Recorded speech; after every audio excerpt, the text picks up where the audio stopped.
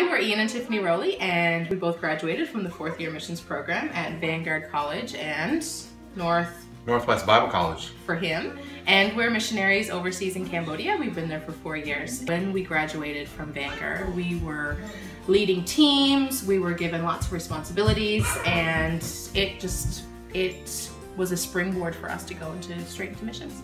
So in Cambodia, we do primarily three things. We work at a Bible school, we run a university drop-in center, and Tiffanie is responsible for Child Care Plus program for the country. We currently have over 360 kids in the CCP program.